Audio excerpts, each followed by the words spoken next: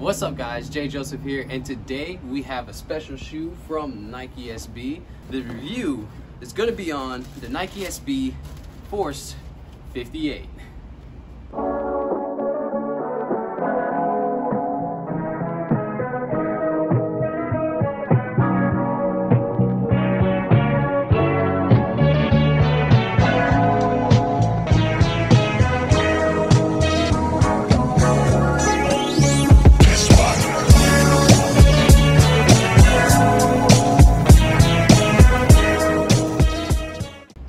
58 has a lot of crazy things going on with it. it. First of all, to me, it looks way more like a Jordan 1, which I respect way more. It's a really sick design. I love the color blocking of the pink salt colorway.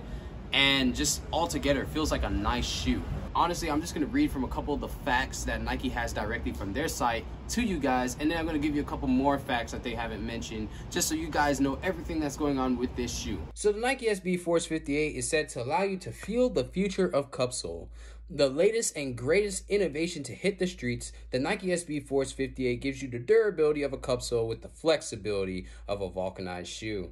Made from canvas and suede and finished with perforations, the whole look is infused with the heritage basketball DNA. The new cupsole design delivers the durability of a cupsole with the flexibility you need to reduce break-in time and maximize skate days. TriStar shapes on the sole expand and contract for better grip and board feel right out of the box. For everybody who's just listening to that and is just like, what does that even mean? What they're saying is that they took from a basketball standard looking shoe that's a low cut and they infused what we need for skateboarding in it. The sole is made to have vulcanized and cupsole attributes, so this is a hybrid as well. So for the basketball DNA portion, the suede and canvas are the perfect pairing of durability and breathability the swoosh on the toe is just to give homage to basketball.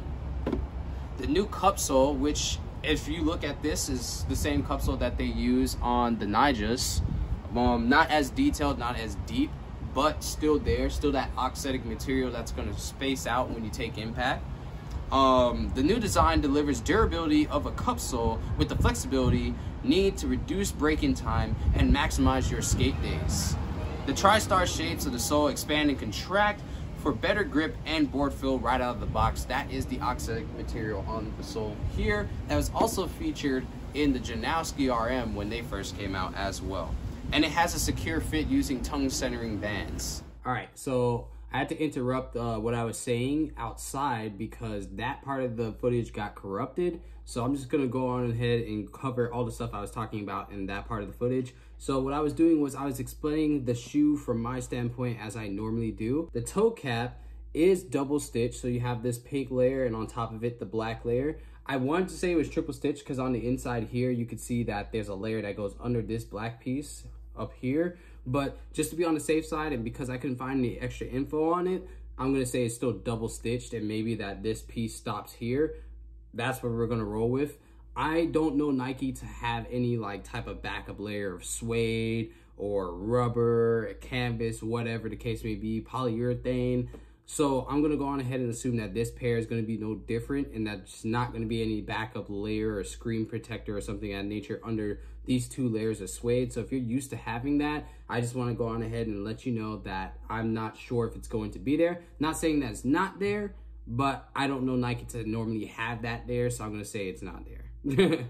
if we go on to the vamp here, right on this side panel here, it's gonna be made of canvas and the check is gonna be made of leather. It's gonna be stitched on, so if you do a lot of heel flips in this general area, you might eventually unstitch the check, but I would imagine that would stay on for the majority of skaters. I don't really see too many skaters uh, unstitch the check if it's made of leather. And going on to the heel counter, you do have suede and a nice plastic cert that keeps the stability of the sole on the inside underneath all the material that's gonna make it harder for you to like roll your ankle on the heel side, which is great because you need that stability in order to not roll ankles as much or to prevent breaking your ankle. And I think this shoe is gonna do a very great job of doing that. On the inside, it is mesh and it's nice and I would say it's moderately padded over here and the tongue is nice and thickly padded and the tongue is also made of mesh so it's going to be very breathable. Hey Momo, why you always come up here when I'm filming bro? this is a everyday thing you do. As you can see, I actually wore the shoe already. I wear it fairly loose because I'm not currently skating them, but I'm about to skate them as soon as I can get back onto the board, which I will explain in another video. But all in all, this shoe is very nicely put together. It has a lot of points of perforations, a lot of breathable areas. The insole here is thin. It's very thin, paper thin. And the reason for that is because Nike believes that their sole is made and the heel area is so thick that they don't need a very thick insole to go with it. And for what I felt so far by wearing it, it does feel really nice in the heel area. It feels like it will take impact.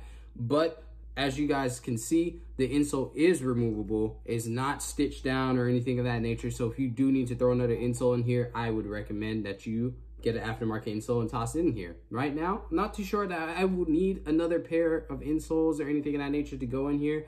But if I do, I would probably end up purchasing a thinner pair of insoles, like a thinner pair of footprints to toss in here, because I know both of the pairs of footprints I currently own are entirely too thick for this shoe. If I could compare this sole to any shoe outside the Nike market, I could probably compare it to a pair of Tyshawns on the heel because it really is mixing up vulcanization and cup sole and you can really feel the impact protection or the thickness on the sole here for sure. So if you guys are into that stuff and you skate Nike, definitely check out that Force 58. Now, back to the outside footage. So now the sole part, like Nike said, it is that TriStar look that's going to add grip and also space out for impact protection. So you're gonna have a decent amount of durability.